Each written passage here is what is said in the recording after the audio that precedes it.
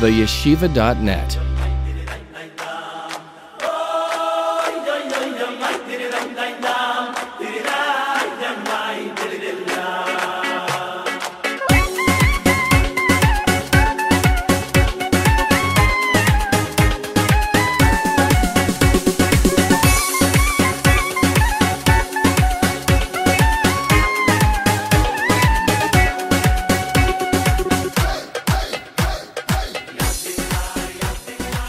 Today, we are not going to uh, explore a parsha, a sedra, an aliyah, a story, a halacha, not even one pasuk, not even a uh, part of a pasuk, not even a word of a pasuk, and not even a letter of a pasuk.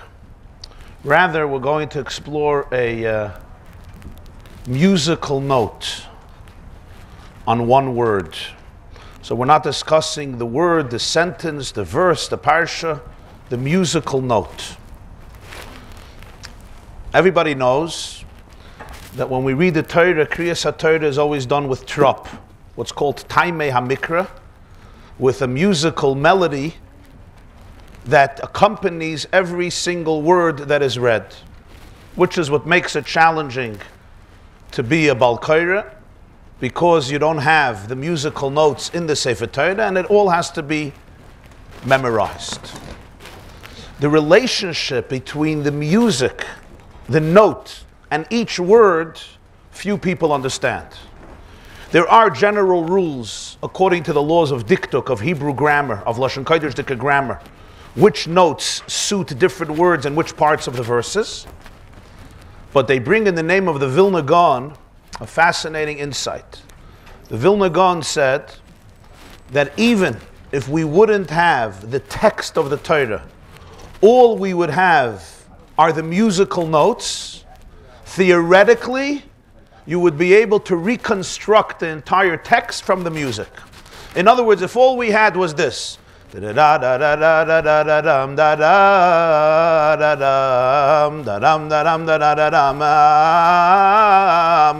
whatever it may be, from those notes, if you would understand the full depth of each note, of each trop, you can reconstruct the text. One such note is extremely rare in the Torah. It's found seven times in the whole of Tanakh and four times in the whole of Chumash, Chumash Torah. Most notes are extremely common. They're read frequently. But whenever you have a, a note that used only four times in the whole Chumash, it's quite obvious that it needs special reflection. In the entire Chamishi Chumash Torah, no more than four times. Why?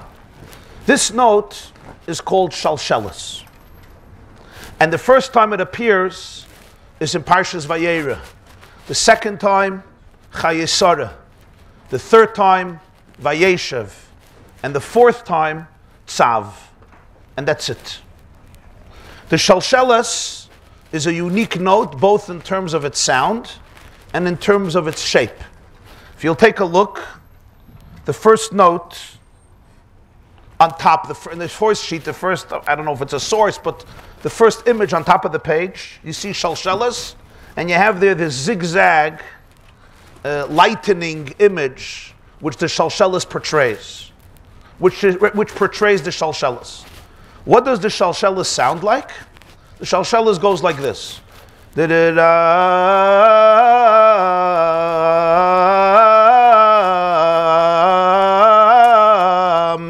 And then some people even add. What does it represent? What does it mean? If you hear somebody saying a word with this musical note, what is the music of the Shalshelis trying to convey? It was one of the earliest commentators on Chumash, unknown but very ancient, Rabbi Yosef ibn Kaspo. Rabbi Yosef ibn Kaspo lived at the end of the 1200s and in the early 1300s. This is the era of the Rishonim. He was born in France and lived much of his life where he passed away in Spain. Ibn Kaspo's Svarim are not known, but he wrote close to 30 Svarim, 30 books. each one quite original. And he points out in his commentary on Vayera, Ibn Kaspo, that the Shalshelas is the note that represents uncertainty. A person is somewhat paralyzed. A person is in a state of stagnation, stuck. When, in other words, sometimes you have a situation in life, a human being is being pulled in different directions. It's not easy for me, I think. It's not easy for me just to progress, to move ahead, because I'm being pulled in various directions. On one hand, I perhaps know that this is not the place for me, I should move on. But it's not easy, I can't move on. There are other forces that are pulling me back. In some situations, I know I should detach from the situation.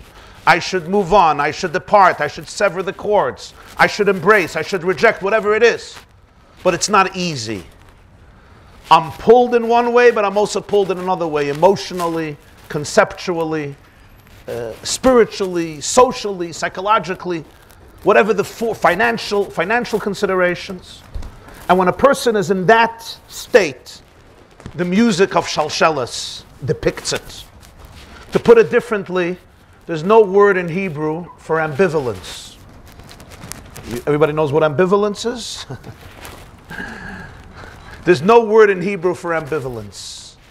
The closest you'll get is Eliyahu Hanavi in Melachim. Ad Mosai atem poischim al shtei hasi'ifim. How long are you going to sit on the fence? Or as we say in Yiddish, wie lang wirst du tanzen chasanas? Im lashem, lashem, im labal, labal. Either you're coming to my wedding, you're going to his wedding. You can't dance a chasana, chasana. Although Baruch Hashem in Jewish communities today, we tanzen nicht auf zwei chasanas, amol darf man tanzen auf sechs. Sometimes you got to attend six weddings because if not, people could stop talking to you forever. So you jump from one, but whenever you're jumping from one to another, you're nowhere, right? You're busy with the next. It's like most handshakes. You ever see politicians or other prominent people give you a handshake? They're already looking at the next, the next person. Anavi says you have to decide who you are. How long are you going to sit on the fence? Ambivalence is in a state where I can't decide who I am. I don't know. I'm not sure. Or maybe I'm sure, but there's so many other forces pulling me in different directions. We don't have a word for it in Lashon Kodesh. We have a note for it. and that's shalshelis. Listen to the shalshelis. Like they used to say when the record, you know, you remember the scratched record. Or today it's the scratched CD. And the note repeats itself again and again because there's a scratch. And you Remember the record players? And it can't move on to the next, to the next part of the record. Aleim hashalom zechroinam levracha. That's the shalshelis. Listen to it. Um, okay, that's good. You're reflecting. Okay, next. Um, no, I can't.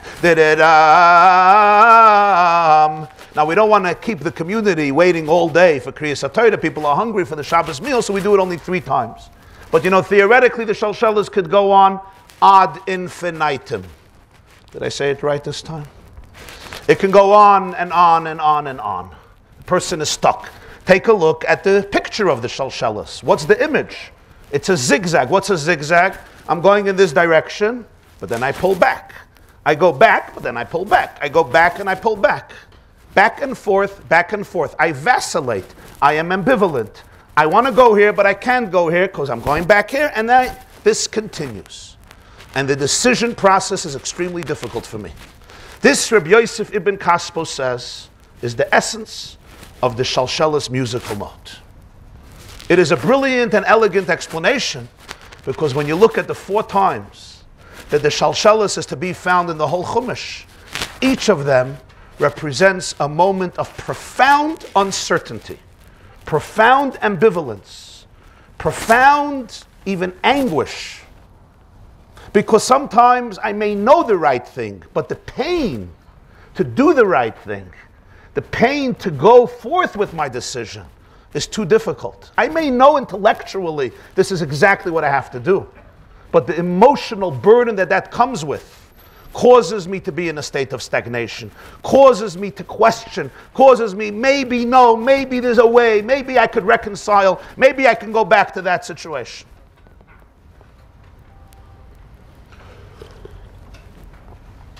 The first time is in our parsha. But let's not jump ahead of ourselves. Let's first go to Chayesara. Let's go to Vayeshev.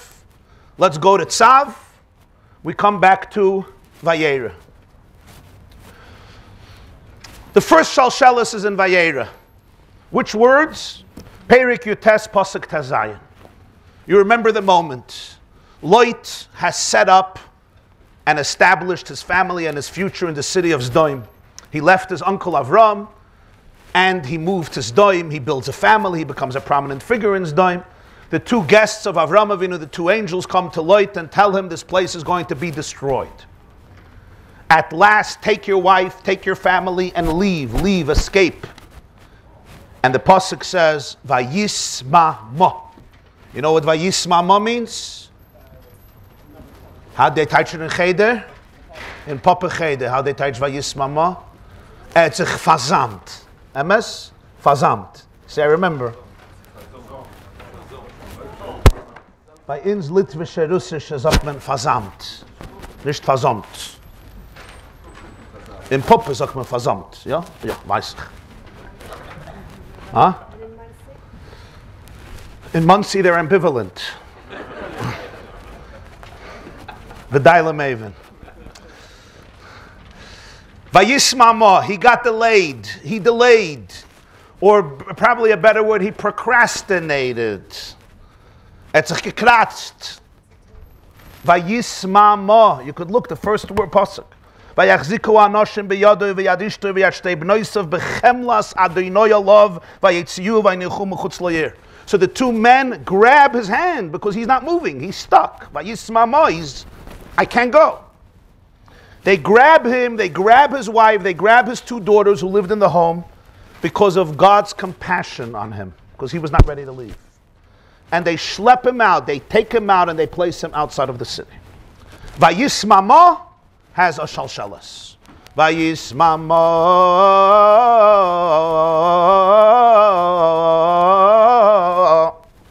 I can't guarantee you that the Balkaida the Shabbos will do it as eloquent as I just did it because he may not understand what he's doing. But nonetheless, this is the Shalshalis. At least the Balkairis note will have some resemblance, I hope, to this. Next is Chayesara, next week. Perik Chavdalet Pasikit Beis. This is a little more difficult. Eliezer, the servant of Avram, is dispatched by his master to go find a shidduch, to go find a soulmate for his son Yitzchak. Avram says, Leave the land of Canaan, go to my homeland, go to Charan which is, of course, Mesopotamia, northern Iraq, in present day geography, and find somebody from where I come from, from the city of Chara. Eliezer says, What happens if the girl doesn't want to follow me to Eretz Yisrael? Should I bring Yitzchak to her? And Avram says, No, then you are cleansed from your, pl- from your pledge, from the oath that you made to me that you're going to do this. And he sends him off. When Eliezer comes to the city of Haran, he's outside of the city and he's waiting by the well. And he prays to Hashem and he says, Vayoymar, Adonai Elohei Adoni Avram, Hakrin Olefonai Ayoim Vasei Chesedim Adoni Avram. It's a full pasuk. He says, Hashem, God, my God, the master of Avram, please do chesed with my master Avram. Bring here today, bring forth the right young woman for, for Yitzchak, from my master's son. And he makes the famous test in his mind that if a girl is going to come and I'm going to ask her, He's going to come to the well to draw water. Remember then in the era before sinks and before bathtubs and before sources of water in your own home. They still have it in some places. I've seen it. You go to countries that are not that developed, and everyone gathers by the wellspring, the natural well, in the city or outside of the city from which they draw water for a day, for a night, for a few days, and so forth. And if I ask this young woman to give me water and she offers me water with grace and kindness and my people, I know this is the shidduch. On the word Vayoimar, there is a shalshalas. And he said, Vayoimar.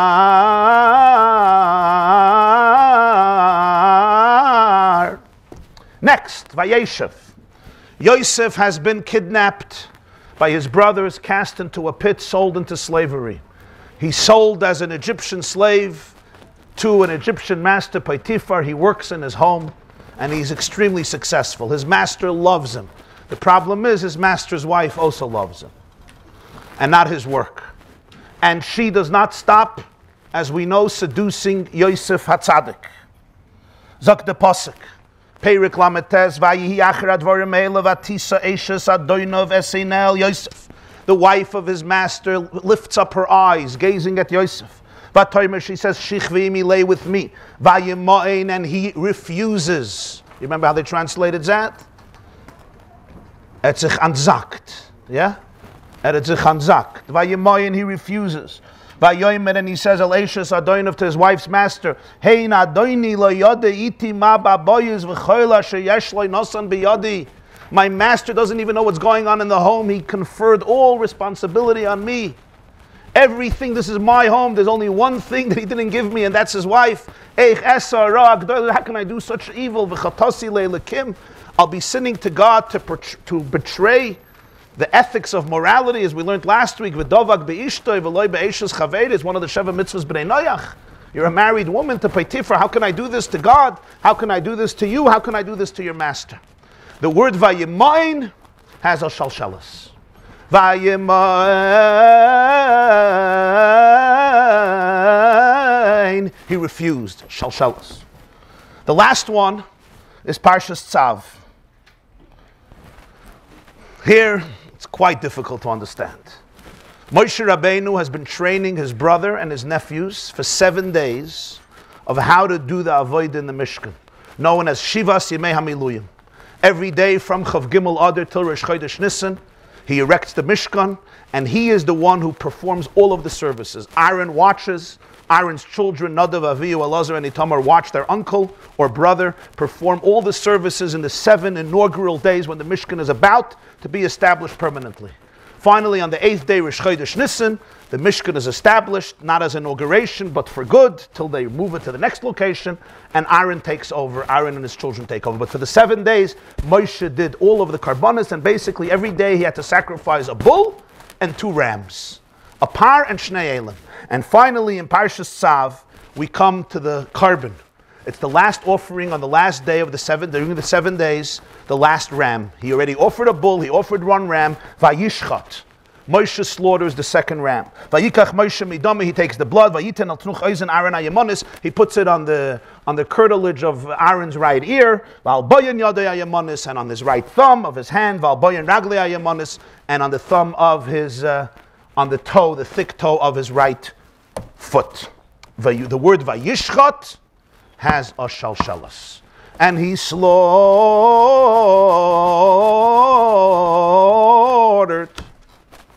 vayismama, vayoymar, vayimoin, vayishchat. How do we understand the shalshalas in each? Let's see with Eliezer. Ibn Kaspo himself suggests something, and it's quite obvious. He says Eliezer is asking himself, is this a sign that is sufficient enough to ascertain if this is the right kala for Yitzchak? Come on. You're going to ask a girl if you can have some water, and she'll be kind and she'll give you water, and that's it? That's a shidduch? We all know, and some people sitting here know this very well, when you're looking into a shidduch for your child, you call people, you call other people, you call third people, and sometimes people sell you the Brooklyn Bridge together with the Manhattan Bridge, together with the Verrazano and the George Washington.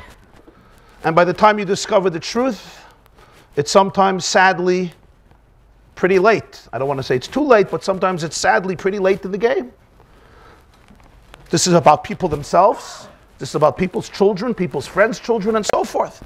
Eliezer is singing a shalshelis here. Vayoymar, he says, Hashem, I really need this to work, but I have to say, I'm not sure this can work. How am I going to find out? Not even a conversation with her. Where did she grow up? What's her genetic makeup? What type of issues? I have to speak to her therapist, her psychiatrist, her psychologist, her teachers, her friends. That's what Ibn Kaspi himself says. One can add, there's a halachic question. The Gemara asks if Eliezer was even allowed to do this. We don't believe in omens. You don't live by omens. This happened. The Ran says in Chulin Sadekeh that this wasn't an omen. This was a character test. It wasn't he was making like this superstitious simon. If this happens, it's a good shidduch. If this doesn't happen, it's not a good shidduch. That would run contrary to halacha. The Ran says in Chulin, this wasn't an omen. This was a character test. He was trying to figure out and see what type of person this is. Of course, one is supposed to do this. But there is a third explanation, and this is brought in Bereshis Rabbah and it's brought in Rashi. A much more subtle issue. And it was very psychological and very deep. And that is Eliezer wanted Yitzchak for his own daughter. In other words, Eliezer was loyal to Avram Avinu, and Avram Avinu wanted Yitzchak to find a woman from his own family in Haran. But Eliezer was a conflicted person because he had a daughter and he wanted uh, Yitzchak. And this could be for two reasons one ideological and one financial. Ideological, to be a mechutin of Avram Avinu. You know, you could get into all the seminaries in Monsey. Your Einiklach won't have problems. They'll be able to get into all the yeshivas. The Zaydas of Avinu. The Elta Zayda not. Avram Avinu himself wouldn't be able to get into yeshivas because of his father. But, uh, but once Avram was Avram, it would be, wouldn't be a problem. Okay, that's on one level. But on a deeper level, Eliezer dedicated his life to Avram. Eved Avram Anoichi. And Eliezer was a personality. He was a great man. His deepest desire in life was his daughter could marry a person like Yitzchak have a father in law like Avram, that gene, that soul, that spirit, for his daughter, for himself, and for their children on one level. On another level, if you want to be a little more, uh, I don't want to say cynical, but maybe a little more materialistic, Avram Avinu's wealth was extraordinary. And Eliezer knew this. And Avram Avinu himself tells Hashem, Vihine ben meshek beisi yoyrishoisi, damesek Eliezer. Avram Avinu says, I'm dying without a child. Avram says, Who's going to inherit everything? Eliezer. The Mesek Eliezer. He's the man who's going to get everything. But now Yitzchak emerged. He's not getting anything unless we keep it in the family. On any level you want to explain this, and perhaps both are true. You know, there's an element of this and an element of that. But on any level you explain it, it was not simple. And this is what Rashi says clearly. Perik of Dalit Pasik Lametes. I'm sorry, Chayesarach of Dalit Hey. Eliezer says, Vayoymer love ha'eved. Ulai loy soivo yishul aleches achrei el aretz azoy se hashiv hashiv es bidchel aretz asher yitzasim mishah. The Eved says, what if the woman doesn't want to follow me back to Yitzchak? Should I take out Yitzchak? Ram says, no way. He's staying in Eretz Yisrael. Zakt Rashi, Ulai loy selech ha'isha acharai. Ulai is supposed to be spelled Aleph Vav Lamed Yud. Here it's spelled Aleph Lamed Yud Rashi Elai Ksiv. When Eliezer said Ulai, there was another meaning to Ulai. Elai. What's Elai? Not maybe, but for me. Bas Eliezer limtzay ila Avram He had a daughter, and he was waiting for the moment. He was waiting for the moment when Avram will tell him, you know what? Why don't we try your daughter? He was hoping Yitzchak is getting older and older and older, and at some point Avram is going to say, you know what? Let's just go with you.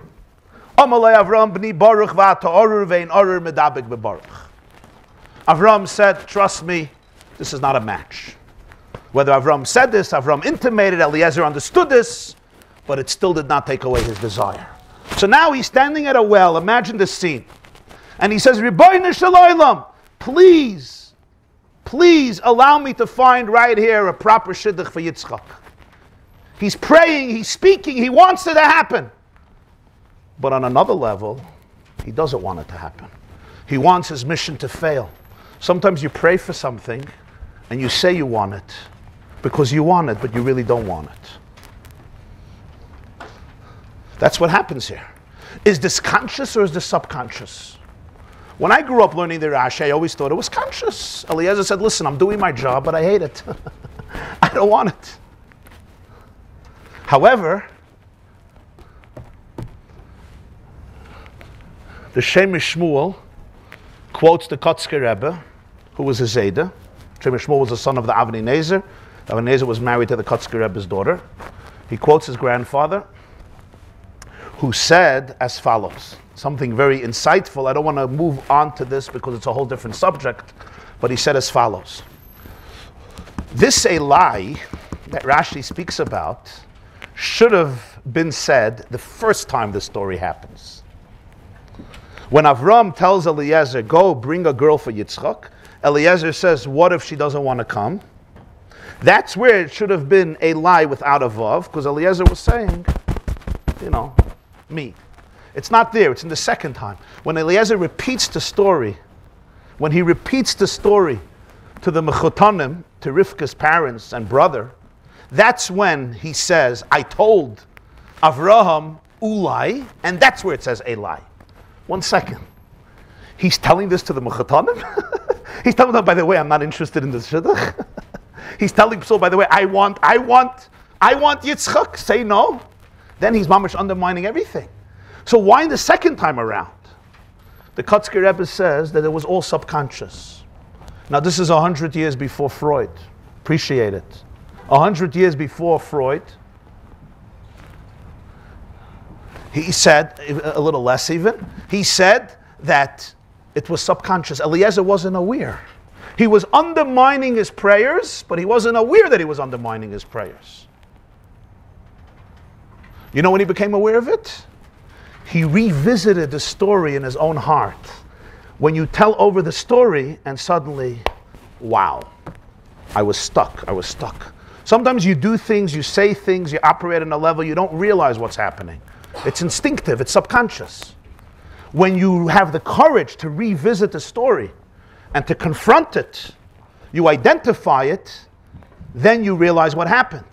And he argues brilliantly, I would say, that the reason that this story is repeated in Chumash a second time, it's a parsha that's one of the longest parshas in Chumash for no reason. The pasuk could have said Eliezer came to Psuel and he told them the whole story. And he said, Now give me Rivka. That's it. And you saved yourself, not two psukim, you saved yourself dozens and dozens and dozens of psukim. This is probably the longest parsha in Chumash, if I'm not mistaken. 69 or 70 psukim. Close to 70 psukim. 70 psukim. For that the Shabbos has 39 malachas. we don't even have one pasuk for.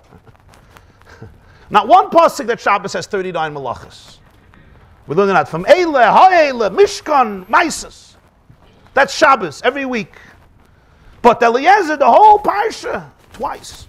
The Kotzker Rebbe says because when you undermine something subconsciously, it's not going to happen.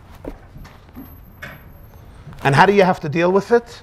You have to bring it to the fore.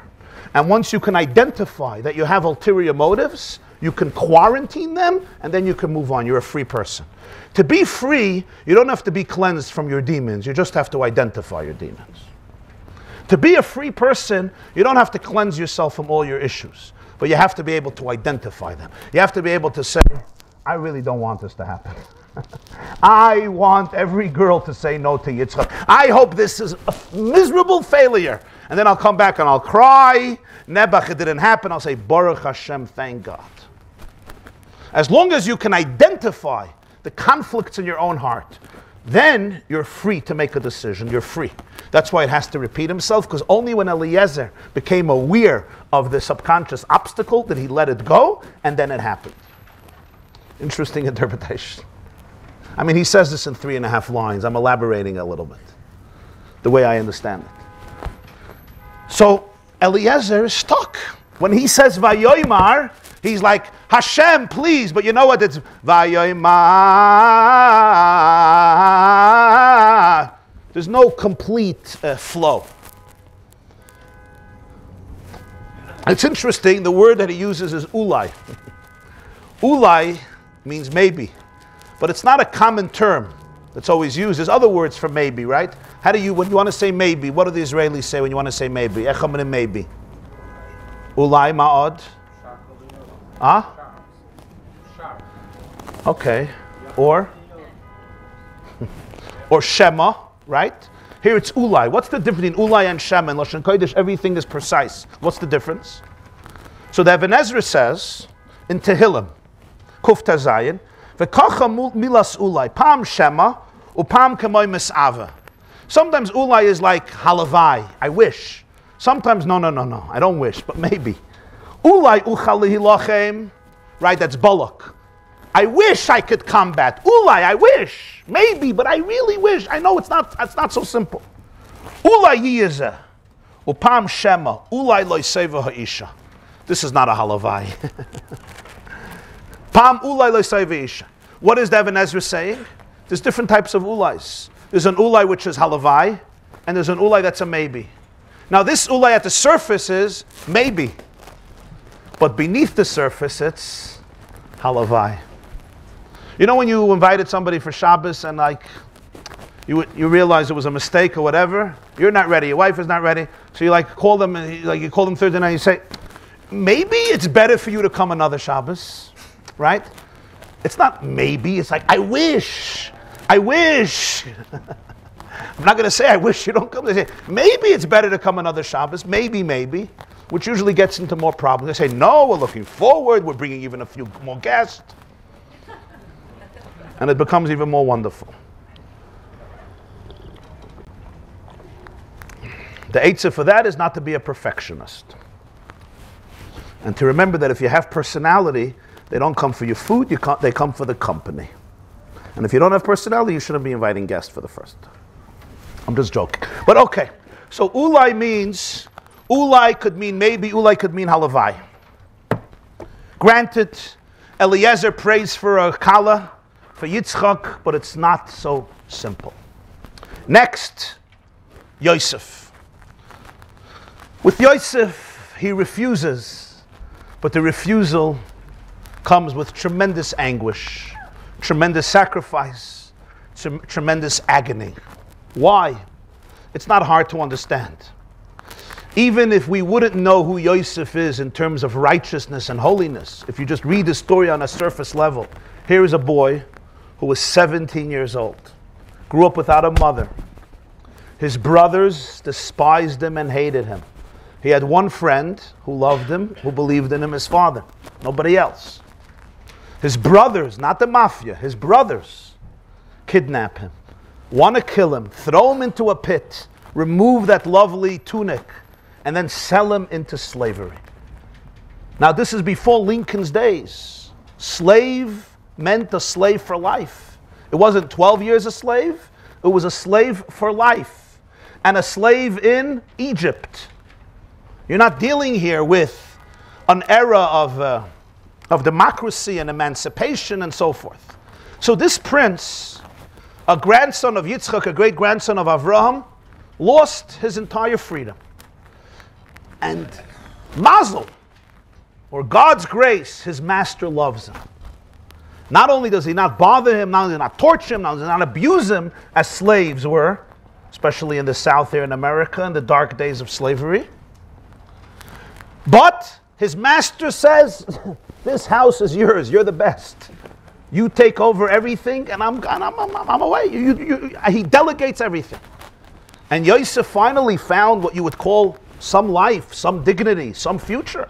Now, understand the tragedy of this person. the tra- and now something happens. His master's wife wants him. And all she wants is five minutes. And she threatens him. Take a look at the Gemara in Yuma Lamed Hay. She goes with good and she goes with bad. Mit schlechten and mit guten. Yuma lamene. Amra Allah al Yosef HaTzadik. A Gemara in Yuma. Bechol yoim ve'yoim ha'isa eshes poitifar mishadalte bedvarim. Every day, this wasn't once a week, every day he was getting WhatsApps and texts and messages and some other things.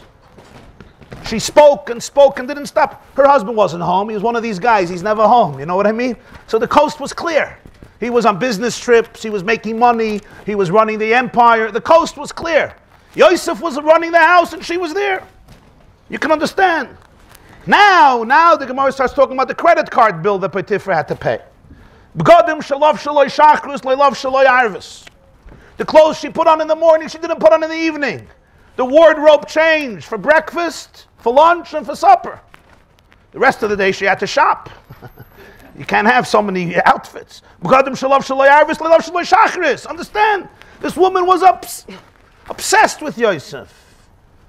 She was strategizing. She was planning. It wasn't upset uh, one time, taiva somebody has.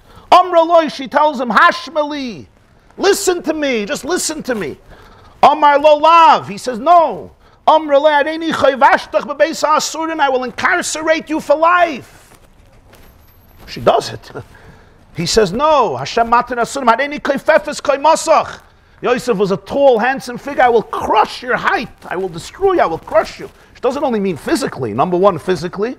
And number two, emotionally. When I'm done with you, you will be the loser of the century.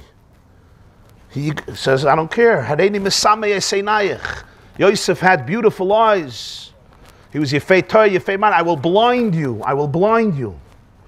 Yosef refuses. So she says, you know what? What do I have to go with negative? Let's go with the positive. She gives him a thousand kikre kesef. In today's world, I would say she gave him five, six million dollars for five minutes. For five minutes, a 17 year old boy before Matan Torah. Now let's understand this. This is pikuach nefesh l'chol days. A shidduch, it's not going to damage in the family.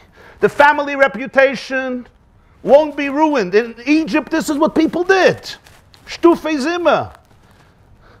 Last week we spoke about the great uh, saintliness of, of the more of the of the Shtufei in Egypt, but at the end of the day they were Shtufei They were promiscuous people. Ervas Haaretz, this was the common way. This wasn't a unique thing. And it's not that Yosef was living near his family, so the next day there would be signs all over Meah Shearim telling the world who Yosef is and it would affect the shidduch of his brothers and the shidduch of his sisters and the family reputation of the yeshivas that they get into and the communities that welcome them. None of this would happen. Nor did he have a father, nor did he have, nor did he have a mother, nor did he have a father. His father thought he was dead. On the word Vayemayin, there's a shalshalas. And this, of course, we hear an echo of it in the famous Gemara Masechta Saita. Veis. Tana de Beir Yishmael. It says it was one day, there was nobody home. There was nobody home, and the only one who came home was Yosef and she finally grabs him and she says, Please be with me. It was the holiday. Everybody went to the ashram. Everybody went to the temple. Everybody went to the what did they call it there? I don't know. The monastery, whatever it was. They went, this was obligations, right? Lahavdil Yom Kippur, nobody's home, everybody goes to shul. Lahavdil, this was the time everybody left. She told everybody, I'm sick.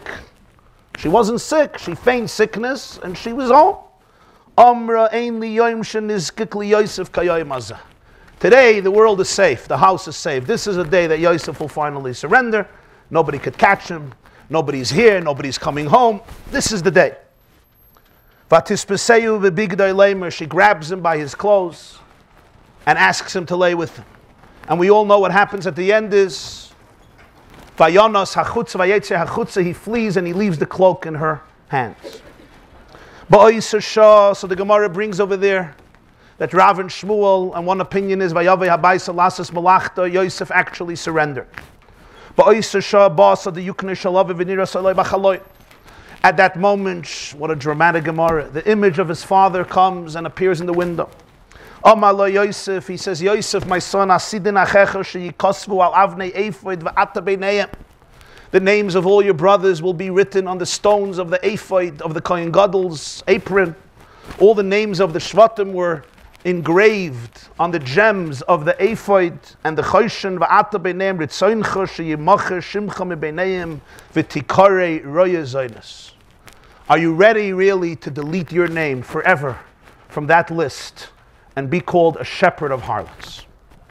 Yosef abstains at the last moment, but the shalshelas of Ayemoyin tells us that there was a tremendous struggle there was tremendous pain. There was tremendous anguish. This was not an easy moment for Yosef. He refused. But how did he refuse? There was a shalshelas.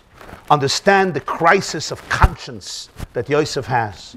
On one side stands the temptation of this moment.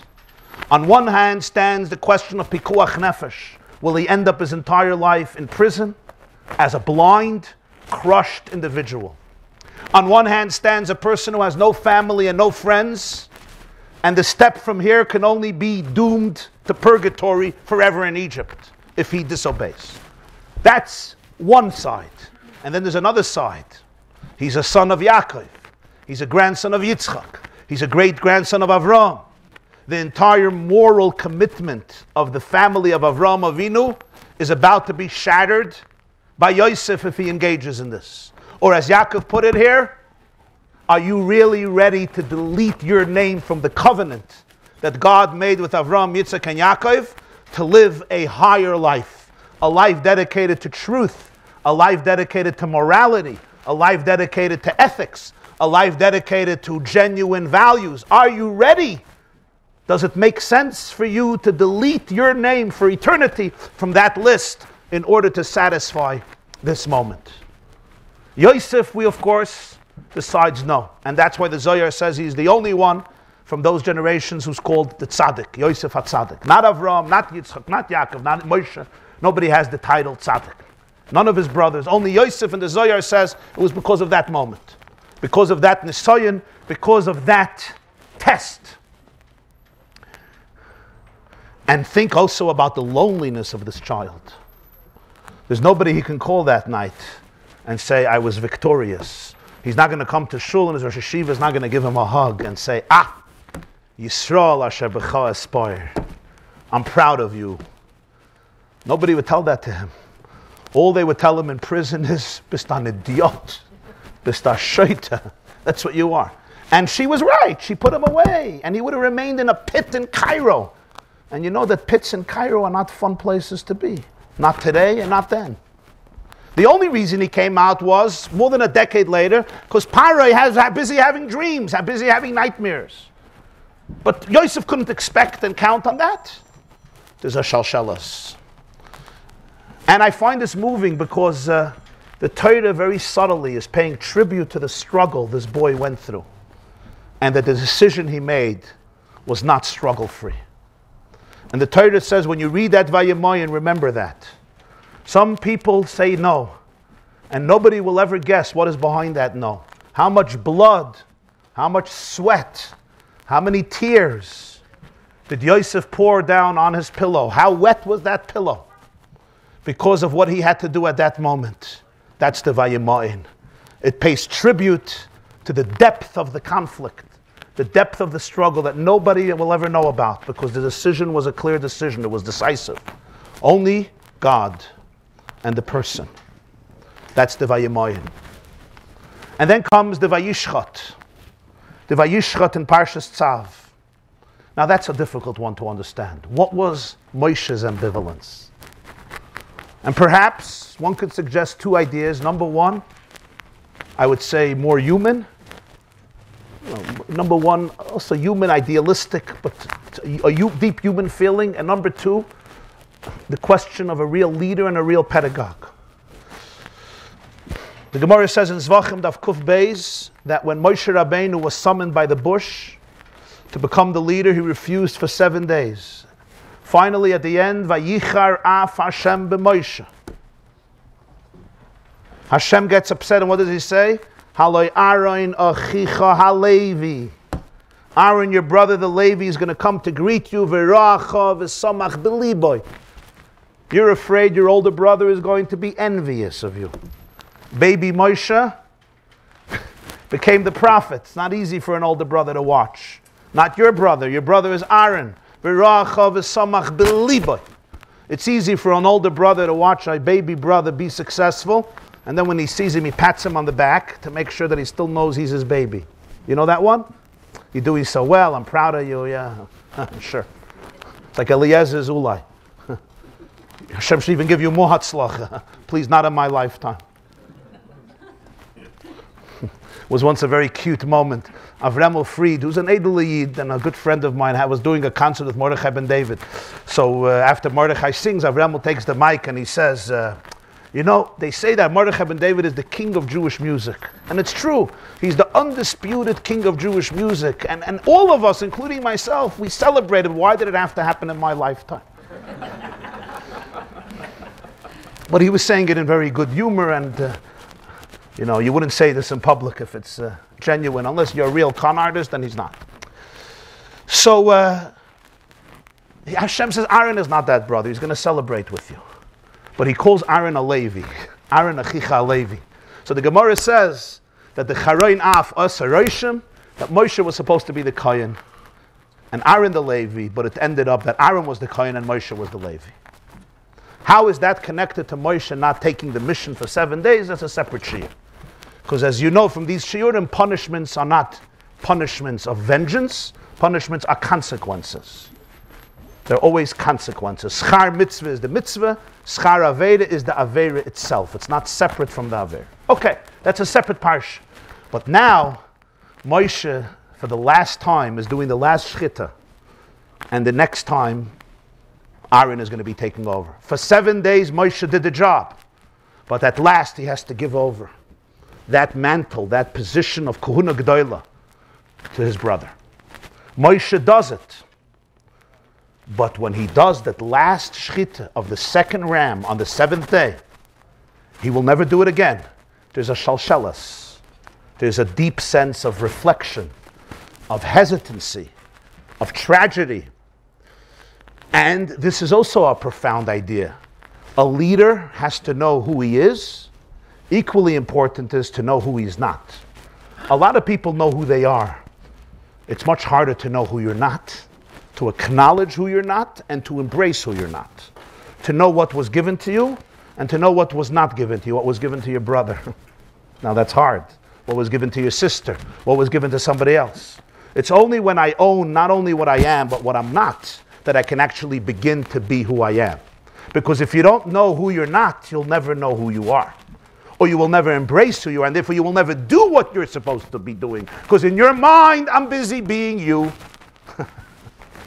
Do I have to elaborate? For the women, probably not. For the men, as much as I elaborate, it'll take another few decades. But we'll figure it out one day together. One of the great, one of the great signs of great people is they know who they are, but they also know who they're not. And it's not always easy to acknowledge who you're not. But as they say, we're all born originals, most of us die as copies. And as somebody else said, don't try to live somebody else's life because that life is taken already. so Moshe Rabbeinu at this moment really says, I'm not the Kohen. I'm not the Kohen Gadol. It's my brother, Vayishchat. Okay. Then you have Reb Chaim Kanevsky in a Sefer Taama D'Kra. This is already a very different answer. Chaim Kanevsky says that he delayed the shchita like a shalshelis. You know why? Because he needed enough blood to get on the cartilage of Aaron and the thumb of Aaron and the, and the, the, the thumb of Aaron and the and the toe of Aaron, the big toe of Aaron, so Shalshelis, he the, the, shchita was longer to be able to get more blood. And the Rakachav in Tzafnas Paneach has his derech that at the last moment he converted it from a shlomim to a chatas, a different parish. Fine. I think there's also one more element, and that is somebody told me Friday night, a therapist told me Friday night that he sometimes asks elder, older patients or mature patients, he says, uh, when you're 70 or 80 or 90 and you're going to look back at your life, are you going to have any regrets? What might you say could have been different or I should have done differently? Just think about that. So I asked him, what do they usually respond? He says, they usually don't understand the question, which I guess is in itself a profound response. Because you have to be somewhat, at least, eager to be a little self aware to ask that question. Moshe, like all great people, continuously asked that question.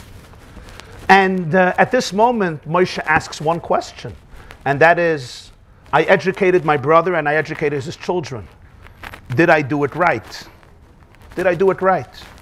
You know, when you're bringing your daughter or your son under the chuppah, so there are the emotions of the moment, but there are also deeper emotions because to 20 years or 25 years, or whatever the number is, of raising this child comes into razor sharp focus at this moment. Maybe the moment that the chassan covers the kallah, the moment, whatever, certain moments that bring 25 years together in an instant. And there's no time for profound and complicated reflection, but you have that shalshelas. You know, you pause, and that pause is a very deep question of uh, did I live up to my mission? Did I live up to my potential? That's the Vayishchat, the shalshelas of Moshe Rabbeinu's last Vayishchat. The next Vayishchat will happen 21 psukim later, and it will not be Moshe, it will be Aaron. At last, we come to the fourth shalshelas in Parshas Vayera, the story of Lot. And in many ways, I would say, here you have one of the profoundest crises of the human heart, of the human consciousness. Lot vayisma He's delayed. Why? Why doesn't he leave? Does he not trust the angels? Is it a question of philosophy, of theology? Maybe they're just uh, they're jokers. They're trying to sell him. They're, they're trying to you know sell him a, a, a Ponzi scheme. Is this a Ponzi scheme? Why vayisma Rashi says balabatish. The man had a lot of money. he couldn't take all the money. Vayisma you don't leave without the money, and he had to. He didn't doubt them, but the person is connected to money. Right? If that's the case, so we have an interesting concept.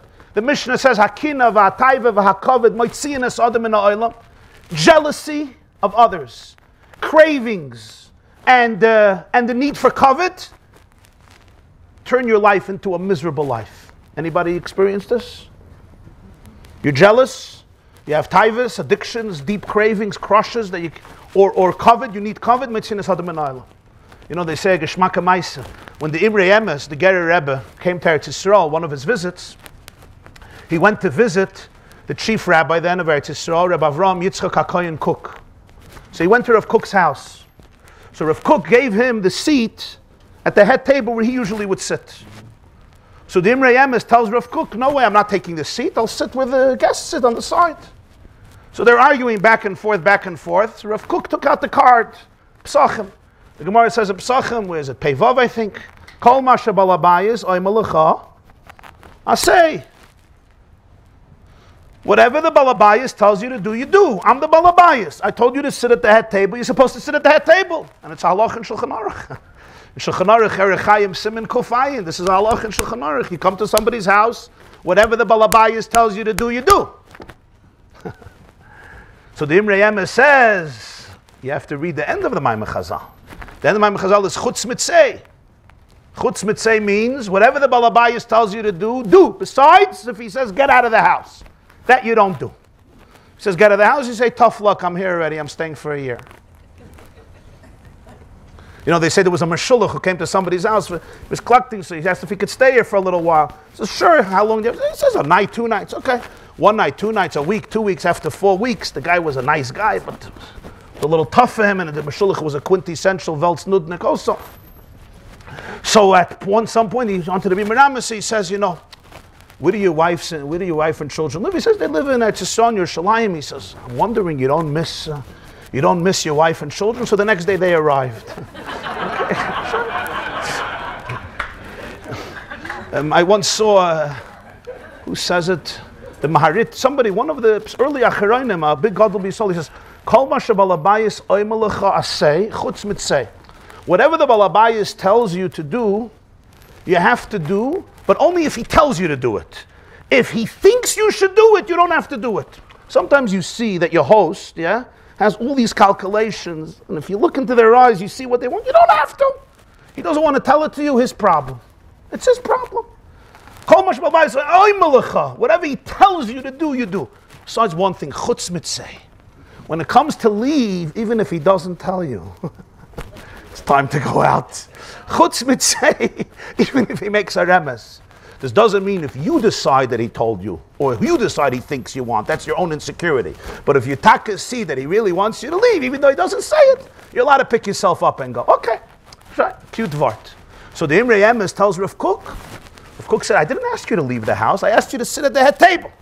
So the Imre Emes says, let me tell you pshat and chutz mitzeh. Whatever the Balabayas tells you to do, you should do.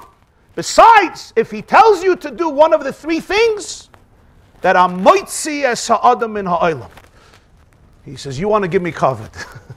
you want to put me at the head table here, so I should get covered. Akina v'atayva v'akovid moitzi as ha'adam in ha'olam.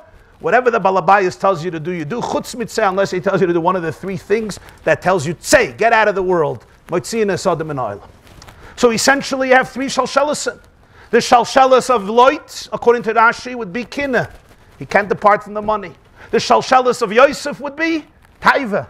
The shalshelas of Eliezer would be he wants Avram as a mechitin, covet. That's on one level. But let's take it. Let's take it to one more level with uh, with Loit, to a deeper level with Loit. What the Vayismama really is. I think what Rashi is saying is it's not just the money, it's everything the money represented. You see, let's analyze for a moment Loit's story. It's a very dramatic story, Loit's story. If you think about Loit's story, Loit was a nephew of Avram Avinu.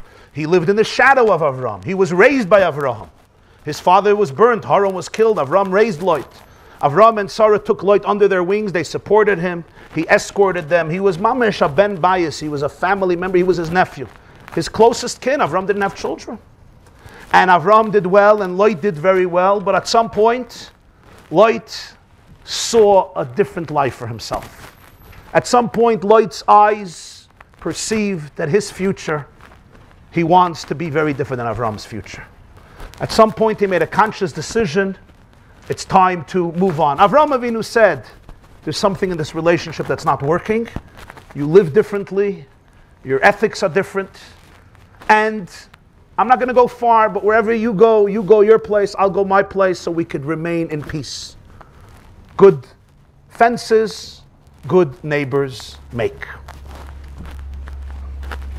What happens? So the pasuk says in Lech Lecha Yud Gimel, Vayisa loita sein vayaris kol kikal ayardin kikar ayardin ki chula mashkel lifnei shachas adonai is doim vesamoyre ki gan adonai kaitz mitzrayim bayachat soya. Loit lifts up his eyes and he says, Give a cook. Give a cook at the Riviera. At the Riviera of Eretz Yisrael. Take a look at the landscapes of Sdoim. Ah, there you could live like a mensch. What do I have to live in a basement in Brooklyn? What do I have to live in this fahakta place wherever I'm living? I have a future for myself. What do I have to live between these people and these people? I have to live in this community. Everybody looks, am I wearing this garment, that garment? Did I daven mincha at six? I daven mincha at four? That my kids like this, my kids like that, my wife this. My, what do I need this for? I don't need this place. I can build a future for myself. First of all, I can have a mansion. Second of all, I can have, sounds like Monsey, I can have nine acres. What do I need to live in a garage somewhere in Williamsburg or Borough Park? And besides everything else, have lights makes a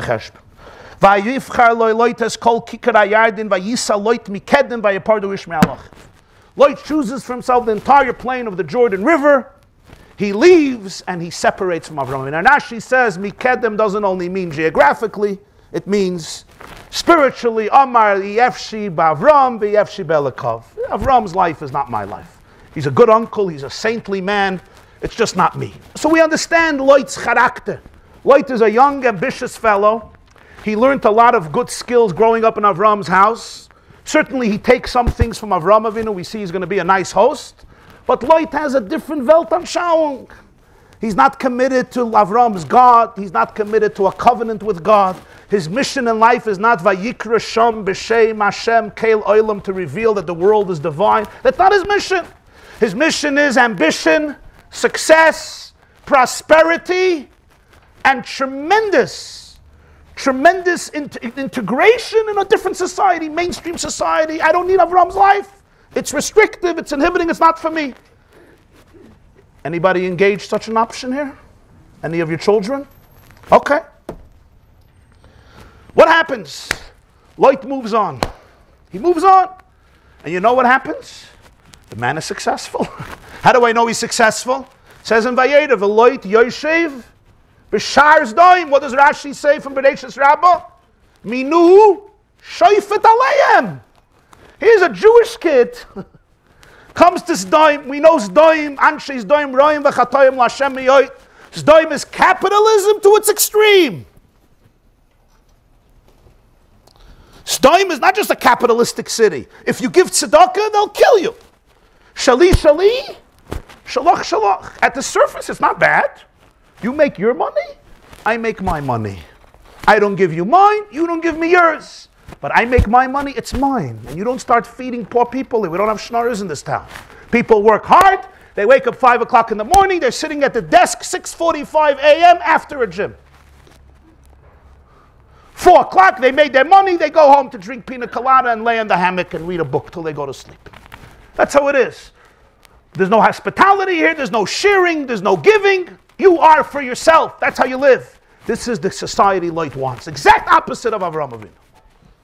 Exact opposite. Avram Avinu was sick after a circumcision and he sees three Bedouin Arabs and he runs. Come, Vishanu Tachaseitz, come. Abyssal Vasa, can I give you some tongue with mustard?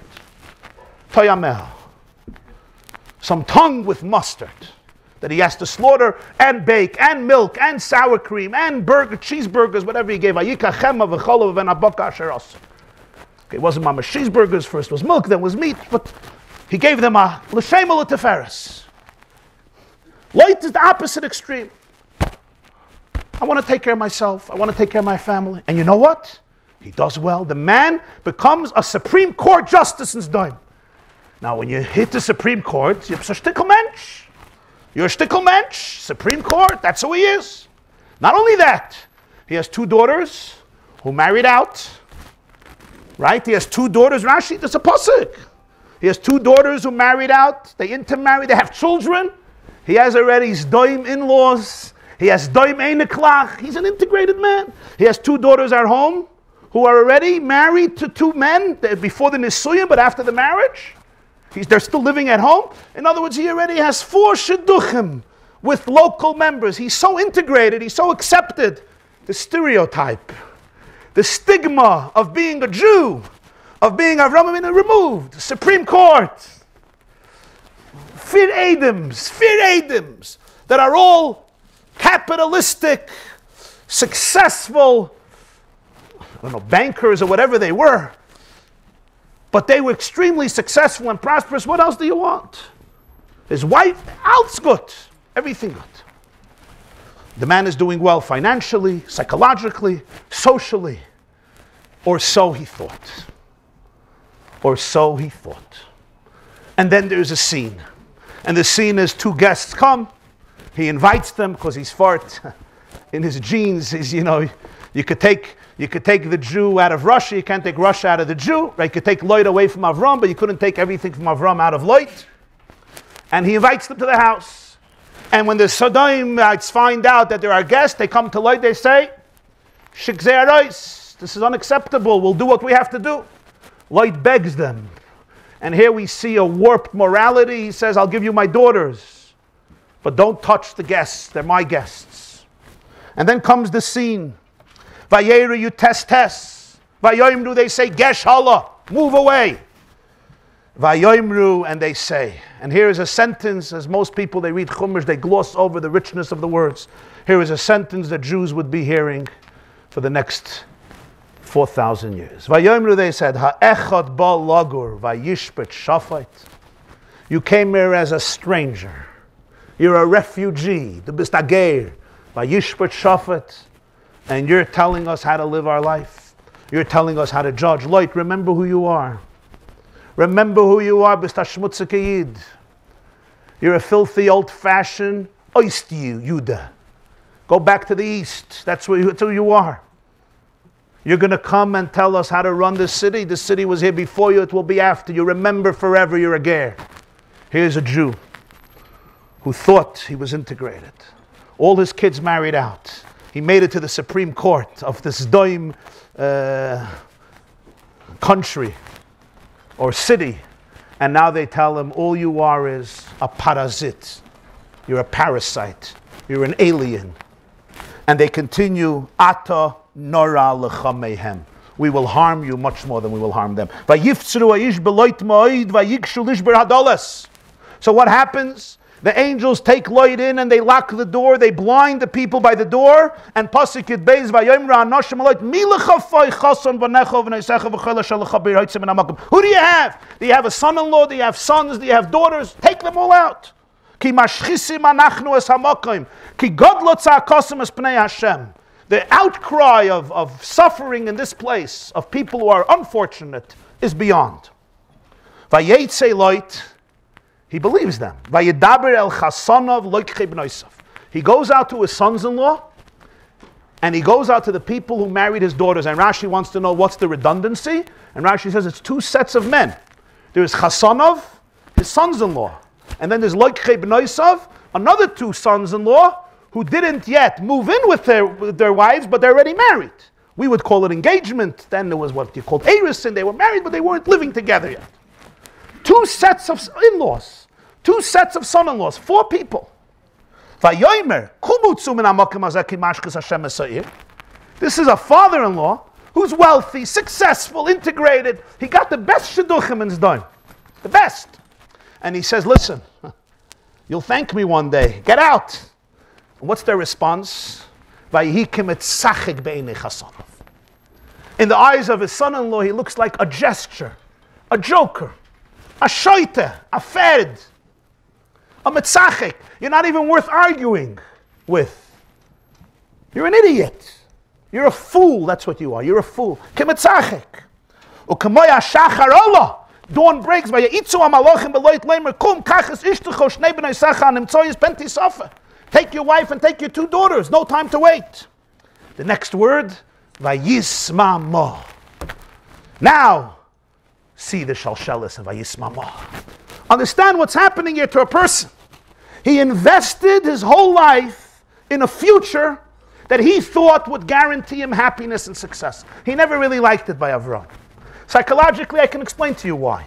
He blamed Avram for his father's death. Because Haran died, remember, Rashi says at the end of Noach, you don't learn Chumash anymore, huh? Like a forgotten text. Chumash like a forgotten text. Daf no Chumash.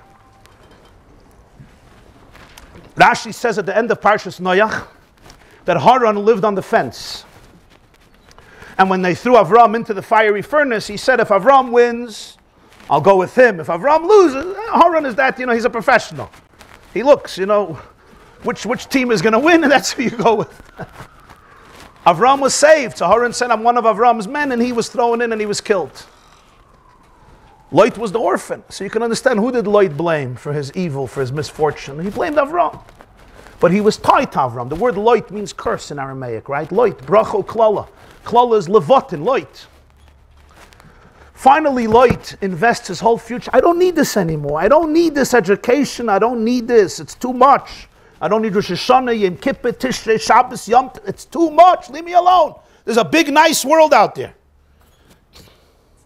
He never perhaps captured the soul of Avram, but that's how Lot, and he invests in a new life, and it's a macht gut. the world is a good place for him. He finds four beautiful shidduchim. He becomes a Supreme Court justice. He becomes financially, socially integrated.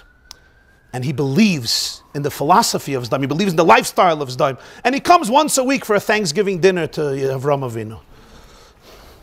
Avram Avinu did Thanksgiving three times a day.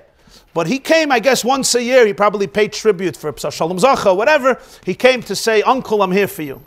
And that's it. He went back. And suddenly, suddenly, the whole future that you invented for yourself comes crashing down. The whole society looks at you and says, You are forever an outcast. You want guests in your house? Never. We will not trust your decision. We will hurt you much more than him. You'll hurt me? Me? I'm one of you. I know your poetry better than you. I know your theater is better than you. I know your culture better than you. I know your constitution better than you. I made it to the top. They said, You are an alien. You're a gay.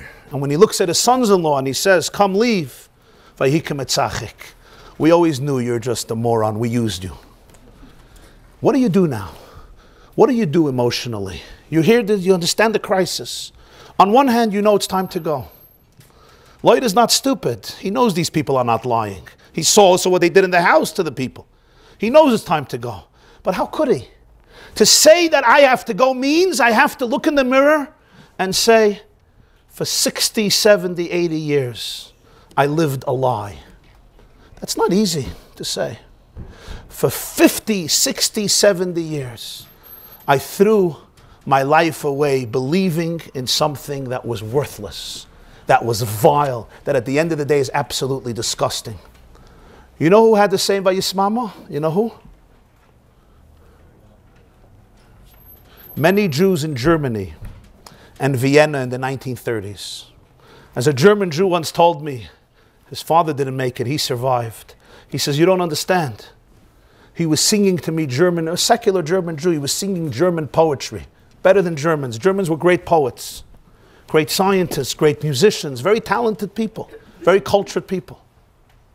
They weren't barbarians in that sense. In terms of culture, they were brilliant. And uh, he told me that he was the valedictorian. And the valedictorian, the day, the night before, his mother got a call and said that uh, the Gestapo said, no way, a Jew could not be the valedictorian. I think 1935 or 36 was just the beginning. And he says, but I would not believe that this was Germany. I blamed it on a few crazy people. And he starts singing. I met him in a shul once on Pesach in Connecticut by my sister, and he starts singing to me Goethe and Schiller, their poems. He's singing, and he's still a German at heart. Then they, they, they burnt his, his father in a concentration camp. They brought him the ashes. This is before the, before the war began. And he lived the whole war in Germany as a, he looked a little bit blonde, so he lived as an Aryan, as a German, with his mother so he was a Jew who lived in Berlin throughout the war and he survived. Until today, he knows what the Germans did. But emotionally, he's still in love with the culture of the country. It was hard for Jews to believe. Jews were more German than Germans. The levels of assimilation in Germany and Vienna were extraordinary. In the mid 1800s, around 40% of Berlin Jewry converted to Christianity by volition because they wanted to be integrated, and they became integrated. The levels of intermarriage, their integration in all the fields. The first and last foreign minister of Germany was a Jew. He was murdered in 1922. Rathenau, Rathenau, the Secretary of State of Germany after the First World War was a Jew. The scientists, including an Einstein and a Freud, okay, they both left the musicians, including a, a, Felix Mendelssohn, you're dealing with in terms of science and art and music and politics and law and financial success. German Jewry was on top of the game. And then came the 1930s, and they started to, to hear this venom, and they couldn't believe it. They said Hitler's a Meshuggah, he's having a bad day, you got to send him to therapy. They couldn't believe it. They read Mein Kampf, he's exaggerating, a nut job. Very many couldn't believe it. Vayismama. Vayismama. Loit was forced to get out. Some of them, nobody held their hand to go out. In the late 1950s, Leon Festinger coined the phrase cognitive dissonance. You ever heard of cognitive dissonance? Cognitive dissonance means cognitive dissonance. It's painful to live with dissonance when you have two truths that conflict and they pull you in different directions. It's unbearable. It's too much. So what do you do? You deny one of them, or at least you reduce the truth of one of them, because you can't live in contradiction. You can't live in paradox. That's the vayismama. He can't just go on. He can't just say it was all one big sheker. It was one big deceptive lie. It's not who I am. It's so, it's so painful to do that. To look at the mirror that way and therefore you're still hoping that no, no, no, maybe the last minute, Sdoim will change. Maybe it's not so bad. Maybe I don't have to leave. Vayismama. Now, do you understand why Loit's wife turned around? Festinger has another phrase. It's called post decision dissonance. You know what post decision dissonance means? Even after you make a decision, you can't be at peace. It's too difficult. So, what do you do? You keep on looking back. It's not physically, it's emotionally. You keep on looking back. You keep on looking back. The Malach said, Don't look back. That is evil. That is destruction for you. Don't look back. It's not a beautiful life, it's a horrible life. Don't look back. You lived it, learn from it, but don't look back. Don't go back, because if you look back, you go back. When you look back, you go back. You end up in the abyss, because that's what the devil does. That's called post decision dissonance.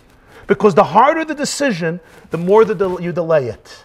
And the more you delay it, the more you keep on looking back. That's the story of Ayismama.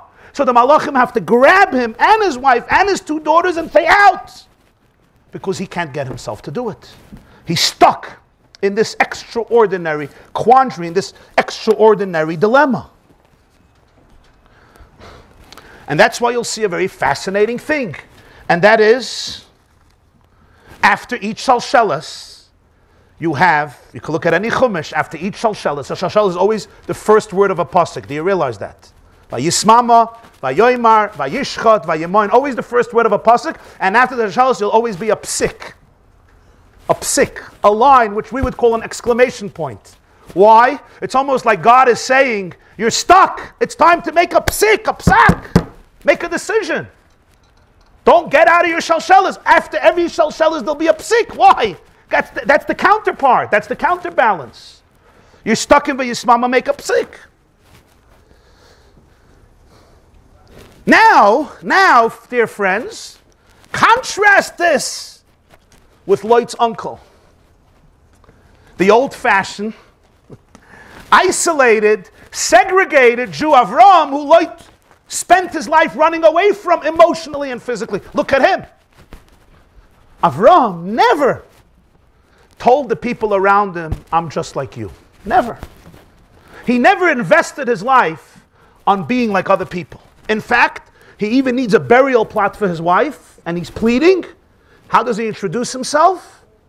Geir v'soishav anoichi. I'm a citizen, but I'm a geir. I'm an outsider. Look at me, I'm an outsider. I'm a toishav. I pay taxes. Dina de Malchus I'm a good citizen, I'm loyal. But you should know I'm a ger. I'm an alien. I don't live like you. The exact opposite. Loit becomes a judge and they tell him you're a ger. Avram says, I'm a ger.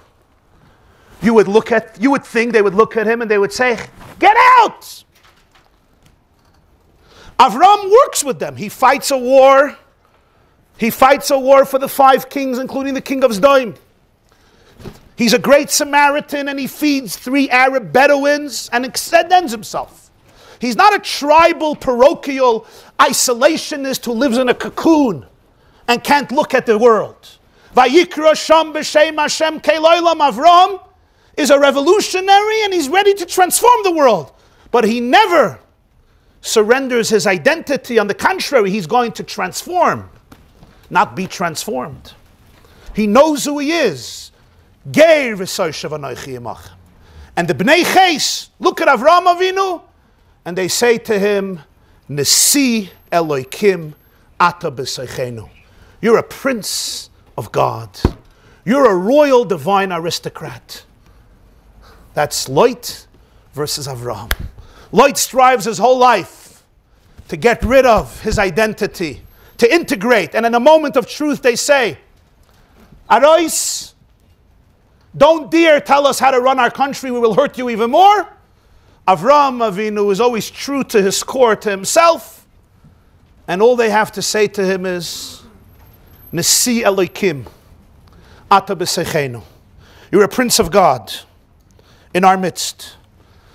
And if you look at history, you will see it's an equation that has not changed. Non Jews respect Jews who deeply respect Judaism. And not only they respect it in their own little hole, in their own little shtibel, in their own little shalashudas, in their own little shir. They respect Judaism. As Rabbi Yonasan says in the Megillah, Ish Yehudi Haya B'Shushan Abiru Shmai Mordechai. There was only one Jew in Shushan Abira. There were many Jews in Shushan Abira. So Rabbi Yonasan says, no, no, no. There were many Jews in Shushan Abira, but they were all in the Shtiblach.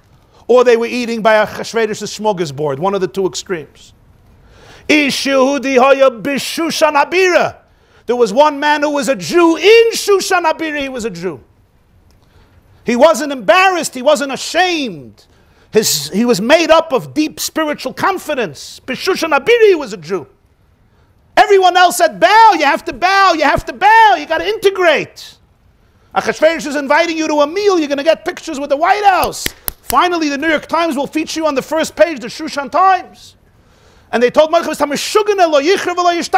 but at the end, Mordechai yotza b'levush malchus.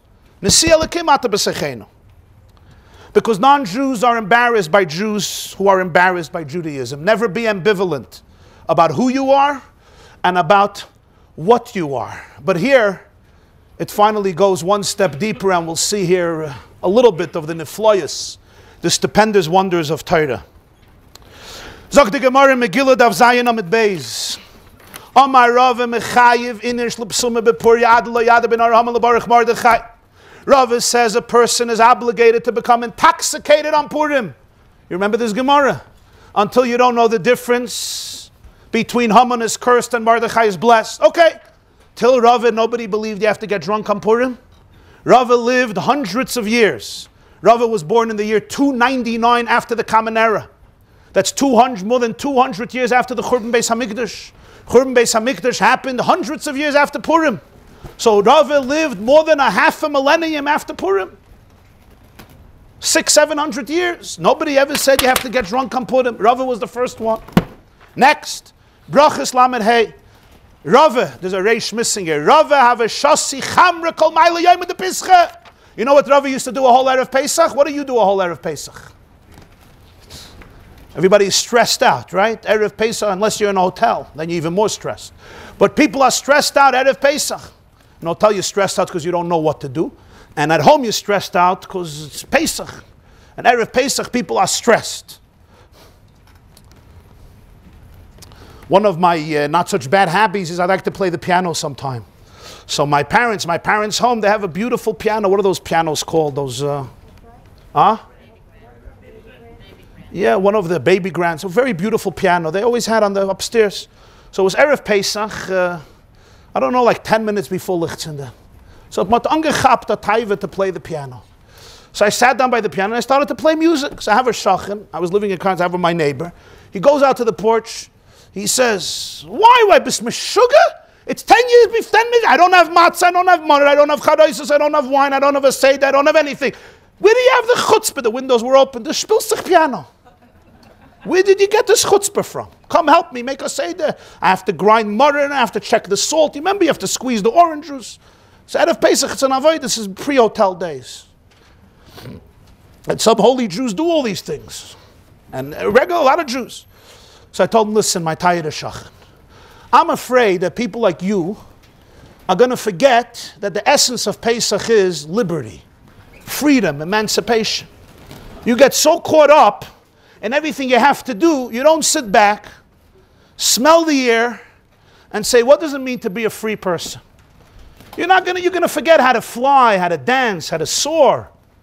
So that's why I'm the guy who sits down right before Lichtzin by the piano, as though there's no issues going on, just to remind you that this is a time of freedom and liberty. And to his credit, he said, You know, you're so right. Now let me go buy, let me go make charosis and murder and, and whatever he had to make. So look what Rava used to do. Where did I get this from? Rava. The Gemara says Rava, a whole Erev Pesach he used to drink. who's, who's drinking all that of Pesach? Me life, me kommt, me gate, me schreit. Everyone is stressed out. Erev Rosh Hashanah, Erev Yom Kippur, Erev Pesach, and Hashanah Rabbah. It's a mitzvah to be frustrated, annoyed, stressed out, and not relaxed. Why? Nobody knows. There's nothing to do. What are people doing Erev Yom Kippur? What do you have to do Erev Yom Kippur? But it's an internal anxiety. Okay? Erev Rosh Hashanah, it's very deep anxiety. Now, some anxiety, Ema Sadin, is a good thing. But when anxiety turns you into a uh, frustrated, annoyed person, you can't serve God. Ivdu as Hashem besimches, even Erev Yom Kippur, even Erev Rosh Hashanah. So Rava used to drink Erev Pesach. Why? Because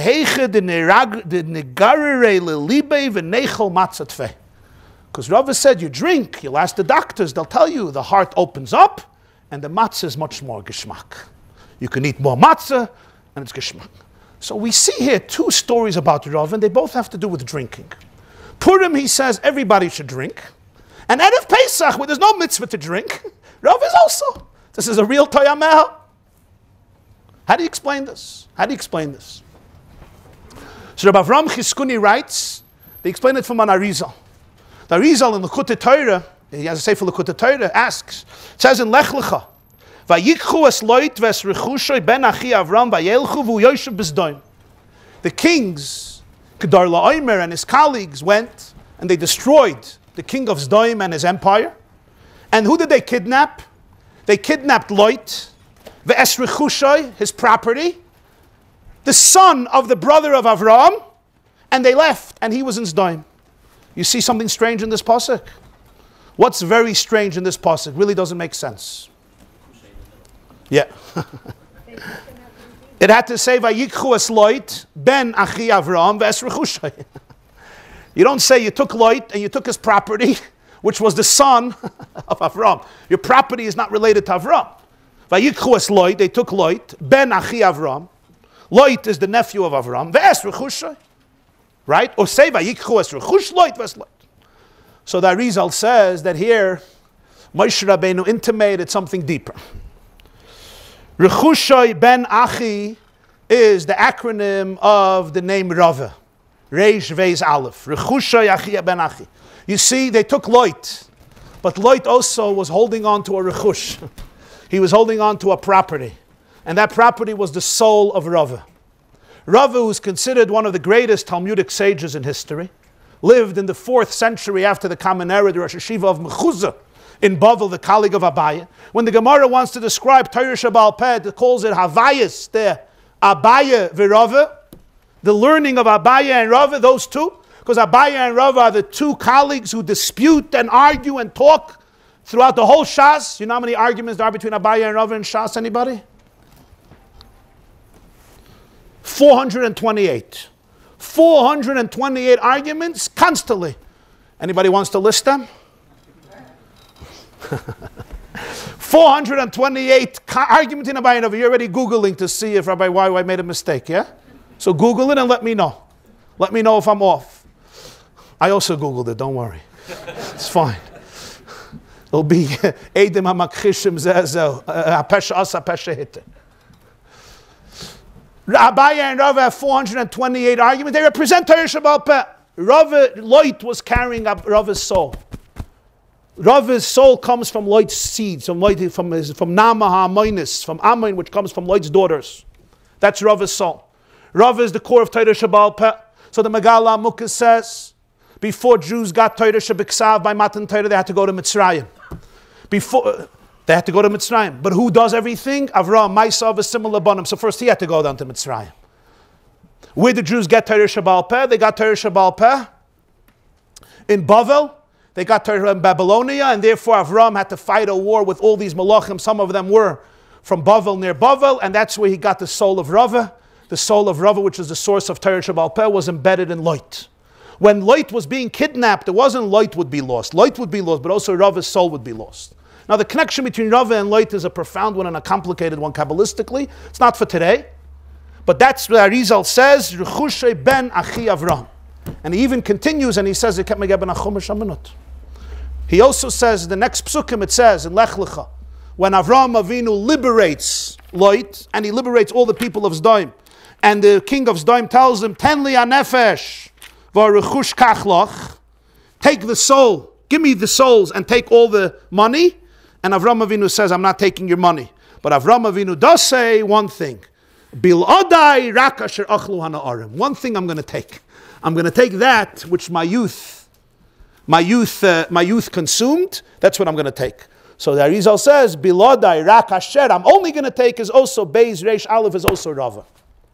And Avram also has the three letters, Aleph, Vez, Resh, is also Rava. If that's the case, Avram Chizkuni writes, what happened with Loit at the end? Loit became a drunk.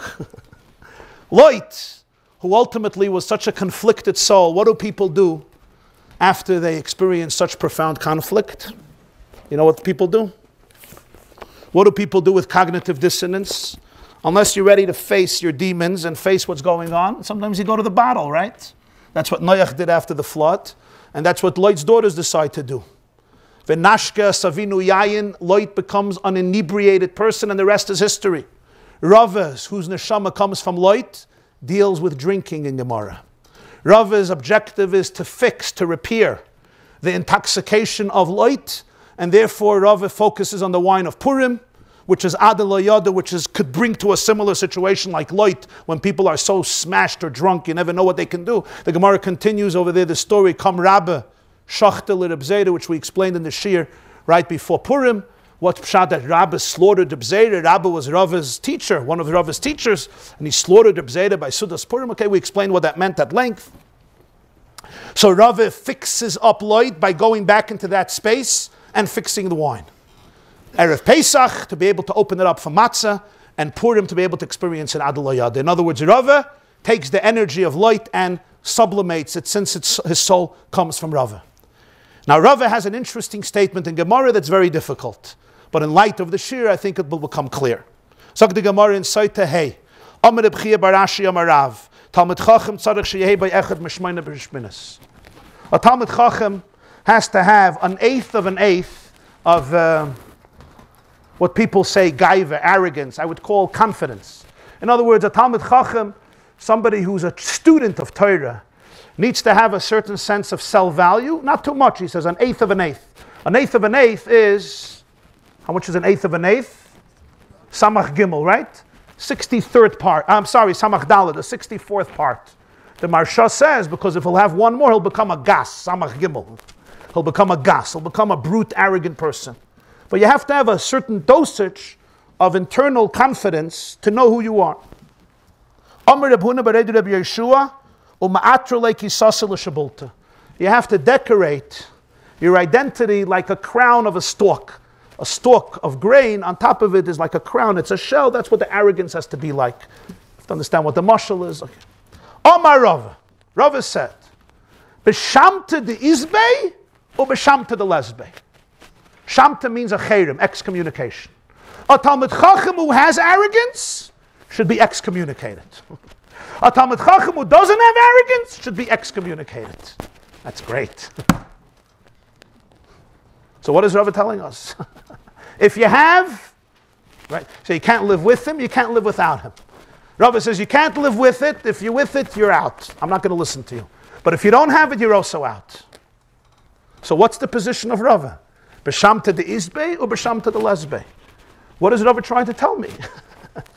Should a Talmud Chacham say, okay, I'm a piece of dust. I'm a nobody. Step on me.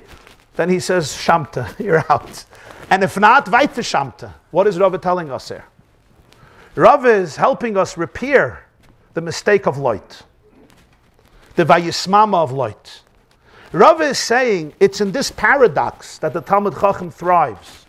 It's in this, in this vacillation that the person excels.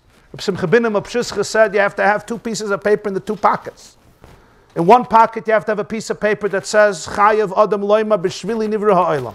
The world was created for me. In another piece of paper, you have to have a paper that says, Va'anoichi Ofa Ve'efer. So which one is it? Bishvili Nivra Ha'olam or Anoichi Ofa Ve'efer? On one level, a person ought never to take themselves seriously, never to take their ego seriously, never to uh, disagree and become disagreeable. never to make things personal and to allow your egotistical shell to take over your life, but rather, humility is the key feature that allows a person to be real, divine, and grow. That's why Rav says a Talmud Chacham who, does, who, has, who has arrogance is Beshamta. He's not a Talmud Chacham. On the other hand, that the danger of that is that the person completely loses their identity. They don't know who they are anymore and they don't appreciate their life, they don't value their decisions, they don't realize the indispensability of their days and the significance of their resources, there's something in you that the whole world is waiting for. And if therefore you don't live up to who you are, something will forever be lost in history. Nobody before you and nobody after you will ever be able to fulfill that. Bishvili, how can I say bishvili nivra and you also? We're both meshuga. We're both neat, we're both crazy. You say the whole world was for me, I say the whole world was for me. I mean, how do you do that? How do you say? A Yid once told me he went to a shul to speak. He was speaking in a shul. So he sent over a letter from the Baal Shem Tov, a letter from the Baal Shem to Reb Gershon Kitover, that he had Aliyah Hanashama Rosh Hashanah Tovkov Zion, 1846. I'm sorry, 1746. And the Baal Shem says, it's a printed letter in Ben Peres Yosef. He went to the, when he had a, his neshama went up and he went to the Heichel of Mashiach. And he asked Mashiach, Ey Ka'asimar, when are you going to come? So Mashiach quoted the Pasuk in Mishlei, L'chsheyafutzu, chutzu. When your well springs will be spread out everywhere, to the furthest corners of the universe, including Monsey. Then I could come. So this Yid in Shul in, in Brooklyn chazed over this uh, this uh, this this Vart So there was a Yid sitting in the back of the Shul and he said, Ich I don't remember. So he said it's printed in Ben Peres Yosef in the back, a letter. He says, Ich I don't remember. So he said it's printed here, you could look it up here. Ich So finally the Rav told him, you don't understand, this Jew decided he's Mashiach. So he says, I don't remember that I ever had such a conversation with the Baal. That's what he meant. The speaker thought he doesn't remember where it's printed. He says, I don't remember. I never had such a conversation. Okay? So I, I, I say Bishvili Nivra Ilam, you say Bishvili Nivra Ilam. And he says Bishvili Nivra Ilam, you say Bishvili Nivra Ilam. Is the pshat that the person ought to understand that there's something in my life and the entire that is so significant that all of history is at stake for that. And in that sense, the world was created for me, for nobody else. There's something else the world was created for you, and every person the same thing. Chayav Adam Laima. But then Anoichi of Efer. The tragedy of Lot was, the tragedy of Lot was, he couldn't master that balance that Avram Avinu had. That true humility creates true pride. And true pride creates true humility. Avram Avinu always knew who he was. He was never embarrassed of who he was. And therefore, he says, gave a search of Aniyamachem. And therefore, they told him to see I'll never forget, and I'll conclude with this. I was once invited to speak uh, by the Pentagon. I was invited to speak to the chief of chaplains of the U.S. Army. It's a whole long story. I once shared part of it, but I just want to tell you one line. So I spoke there. And then I was invited, I was invited a few times afterwards. It was in, uh, in uh, South Carolina. In South Carolina, um, they have a retreat for the chaplains of the US Army, mostly non Jews. Hundreds and hundreds of people, or thousands of people, at least a thousand people or more. And uh, I don't know, there were maybe 11 Jews there. Most of them were chaplains of the US Army, so they served the US Army, which mostly non Jews. For some reason, most Jews don't go into the US Army, they like real estate better. But uh, so there's not many Jews. There were a few Muslims. There was a, maybe a Hindu, a Buddhist, a few, and, uh, and, and a few Jews, including my friend Colonel Goldstein. Jake Goldstein, who was the Shadchan, and uh, the only chaplain with, with, with in the U.S. Army, got a special heter, Chassidus and, uh, and then the rest was, uh, was Episcopalian, and then, of course, Catholic and Protestant and Baptist, and so forth. So how I got the job is Zagan Samais, it's a whole parsha b'fnatzma, a fascinating story, but it's not for now, it's a long story. So I spoke there, the chief of chaplains at the time was a man named Douglas L. Carver, nice yeshiva name. And uh, Douglas L. Carver is a Baptist, a Baptist by training, and he rose to the top to become the chief of chaplains of the entire U.S. Army. That includes the military, the Navy, and the Air, Air Force. And uh, he introduced me. Uh, uh he spoke after me. So I spoke. I spoke for an hour, whatever I spoke. And uh, I have to tell you, speak, I speak a lot to Jews. And I also have spoken uh, often to non Jews. Speaking to non Jews is a very different experience than speaking to Jews because non Jews actually listen. For Jews, it's very hard to listen to a speech. Most Jews, they have opinions. They don't listen, they form opinions as you're talking. You'll see this. I know from, I know from a lot of experience. It's very hard for Jews to actually listen to what the person is saying. Every Jew is sitting and saying, oh, that's a good one. You're not listening. This I'm going to use next Shabbos. Every Jew. This, this I'm going to use. This I'm going to say over. Ah, this one I heard already. Ah, this sheet he said three years ago. Why did I have to waste my time Sunday morning to come? I heard it already. Right? And if you tell a joke, he whispers the end of the joke. That's how it is. Goyim don't have that yetzer hara. They have different Yetziharas. They also shut off their cell phones. Jews don't do that because every Jew thinks Trump is going to call them soon to find out how to run the country. Goyim don't have that issue. It's a different, it's a different musik. Oh, also, most Jews, they sit like this. For the first half of the Shiur, they sit like this. And this always means, don't get close to me. That's the Seder. Maybe in middle, maybe in middle. If you melt them, they take off. You can take it off already. Can't stop shading. It's already the end of the Shiur, don't worry. But it's a psychological thing. You ever saw Jews like this? Like, don't get close. Like, we try to create an emotional, an emotional distance. Non-Jews actually want to be moved. They actually want to be. It's a, it's a, it's a, it's a whole different, it's a whole different model. Among Jews themselves, religious Jews are much harder to speak to, because first of all, who are you to tell me? That's number one. Second of all, I know everything. Third of all, why do they come? They come for me. Third of all, Nivra I just told you. And Anoichi Alfa Third of all, and this is maybe the deepest thing, from Jews grew up hearing speeches. And usually they're coming out of their ears. There's nothing they didn't hear.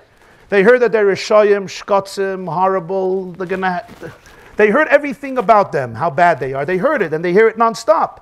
We grew up in a culture of speeches, of sermons, of drushes, of toidas, of shalashudas, of musar, and so forth. So by definition, we're already sick of it. So we sit down, you're guilty till proven innocent. By Jews, you're guilty till proven innocent. By nature, there's nothing to hear. And Lahavdil Goyim have their things, but in this inyan, it's a Gewaldige uh, inyan to speak to them. Nobody sits like this. They sit like this. And they give feedback in middle of talking, which Jews don't know how to do. Jews, at best, at the end, they say, Shekoyach. And even that, they don't spell out, because they don't want to be vulnerable. It's very hard to say to a Jew, thank you. That was meaningful. You don't say these words. You say, Shkoyach. Shkoyach. Something you'll say, not bad. But uh, non Jews, in the middle of the speech, I'm like finishing a sentence and they're like, Yes, Rabbi! Amen! Hallelujah! Now imagine you start doing that. Imagine in the middle and you say, Yes! Go, go, go, go! That's what they would do. You have a thousand people sitting and like, Yeah, awesome! Amen! Hallelujah! God bless them! God bless them! God bless them! You know what I mean? right? So they're actually experiencing something. In their own way, they're experiencing something. There's also one more thing about this. I hate to say this. They know the Bible. so when you say a pasuk, they finish it. With Jews, you never have that happen. they finish learning Daf Yomi. How would they? They don't have time for the Bible.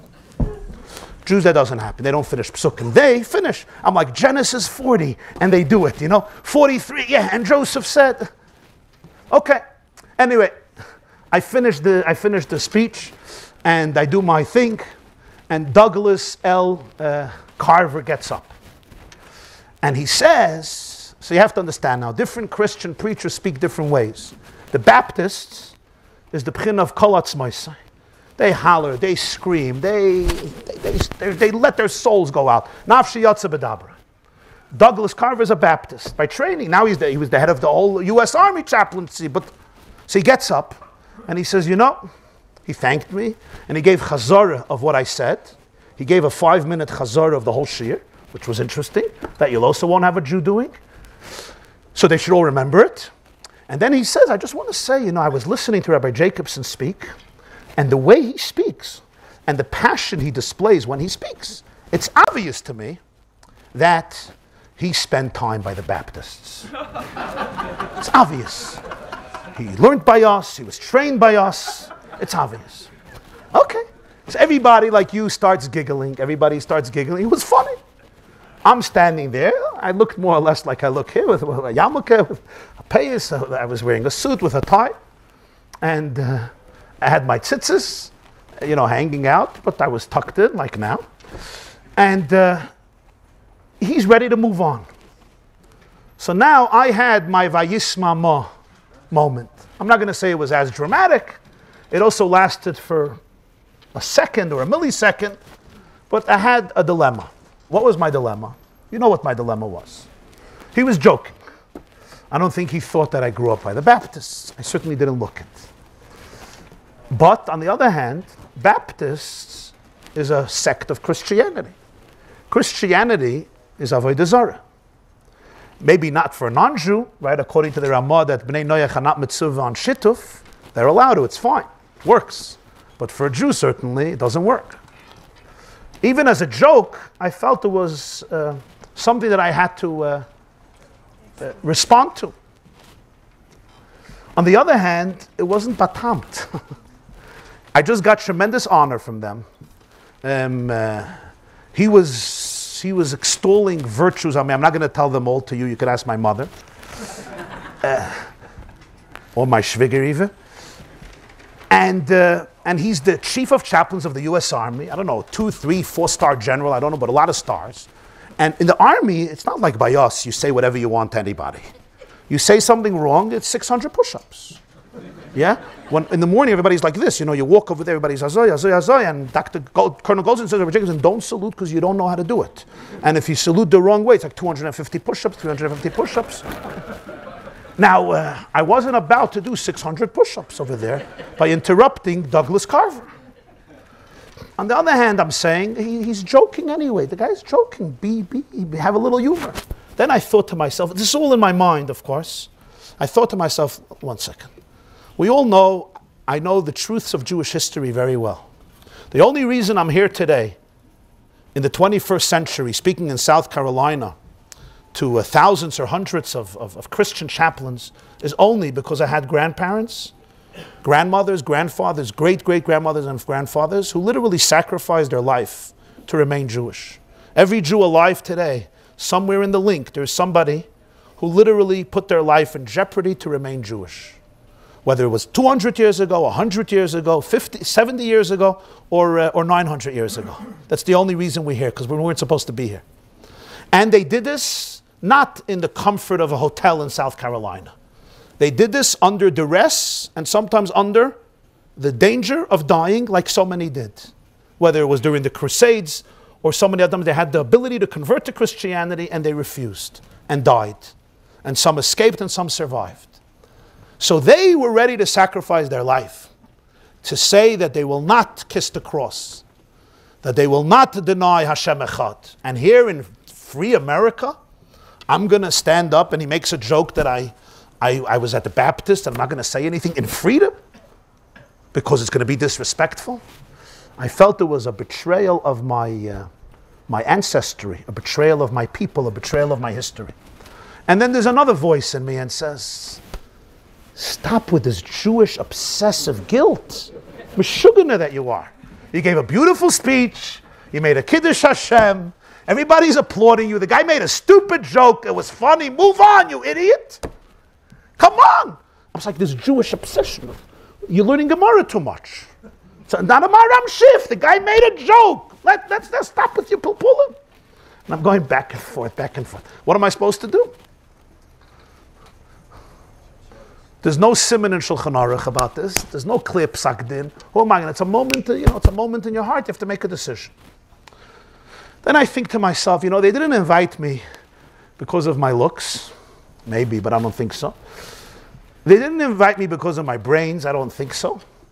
They didn't invite me because my name is Yosef Yitzchak Jacobson. They invited me as a representative of the Jewish people. So it's not really about me. They didn't invite me as an individual who lives in New York and they wanted, they wanted to see my face.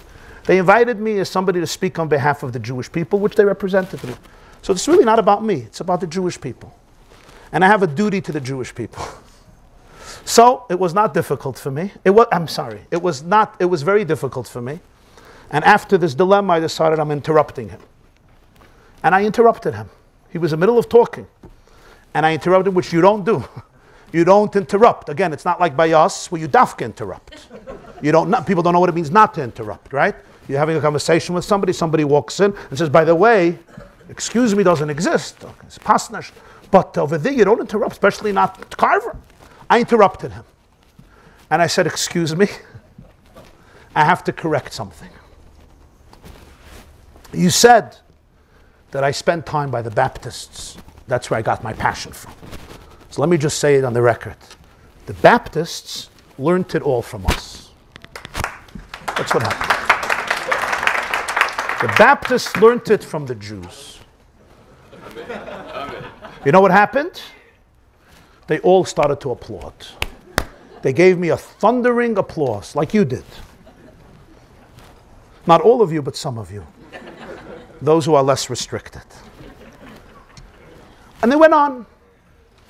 And Carver also applauded me. He's standing there, he went like this, and then he continued. I thought to myself, isn't that strange? When he said, I learned by the Baptists, nobody applauded. They giggled. They found it funny. When I said, no, you learned it from me, you learned it from us, they started to applaud me. Why? It should have been the other way around, if anything. And then I realized, as I was looking in their eyes, this profound and historic truth in a very deep emotional way that many Jews don't realize. It made them feel better about themselves when I claimed and maintained my distinctive Jewish identity and the role of the Jewish people in the history of civilization. Somehow, it made them more comfortable in their own skin. It made them feel that they're living in a safer world, in a better world, in a more clear, decisive, and spiritually clear world, a world of clarity, when the Jew knew who he was and who he was not. When he said, I came and I learned it from the Baptist, it was funny, it was cute, no question. When I said, You learned it from us, we stood at Mount Sinai and we, were the we are the ambassadors of God in this world, it made them feel better not only about me, but also about themselves. It made them feel more comfortable in their own skin. Why? Because they know truth. They sense truth. People sense truth. And the truth is that the Jew was chosen to be the moral teacher of the world the light unto the nations. Even though most Jews today were still uncomfortable with this. Especially religious Jews who should be the most comfortable with this are the least comfortable with it. And we're not going to analyze now the reasons for it, but we have spent 2,000 years in exile and we learned to be embarrassed. And we also were not in a very nice world, let's face it. I mean, it's not just our issue, right? We lived trem- through tremendous hostility, never mind the last century what Jews went through. So we tend, especially, to, to, to run to curse, to curse the world. But the vision of humanity, the vision of Avram Avinu was not to curse the world. The vision of Avram Avinu was to change the world, to transform the world. We say it three times in Aleinu. That's the vision of the Geulah, that's the vision of Yiddishkeit. The Rambam says in Hilchas Malachim Zion that on Maimon Har Sinai, Moshe gave every Jew a commandment to be responsible that every non-Jew observes the Sheva Mitzvahs B'nai Noach. This is a psak in the Rambam, Halacha Moshe Misinai. Could have we done it most of our history? No. We were busy trying to survive. Go to a non-Jew in Spain and tell him you have to observe the Sheva Mitzvahs Merit nicht gefällt. Today we actually live in that time. Today the non-Jew would love to hear a message from the Jew. Today most non-Jews would love to hear spiritual clarity from Jews. But for this Jews can't stutter. For this you have to have not arrogance, but deep spiritual confidence which comes with humility. Who taught this? Rava. Beshamta de Izbei, but Beshamta the Lesbe. If you become arrogant, you're dangerous. But if you decide that you're worthless, you become equally dangerous. You become even more dangerous. And somehow I experienced then at that moment was that me standing up to the fact that I'm a Jew, and I'll never lie to you about that.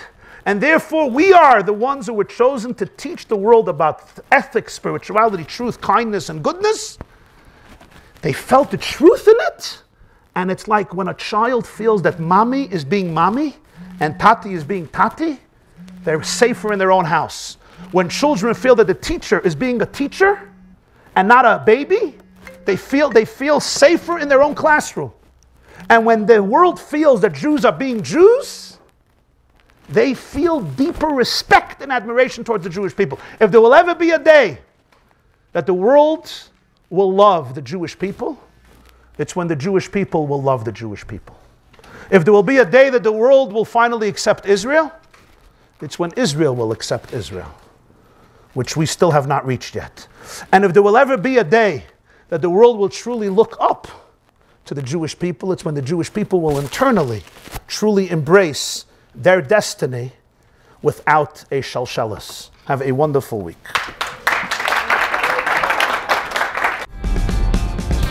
This class is brought to you by theyeshiva.net. Please help us continue the classes. Make even a small contribution at www.theyeshiva.net slash donate.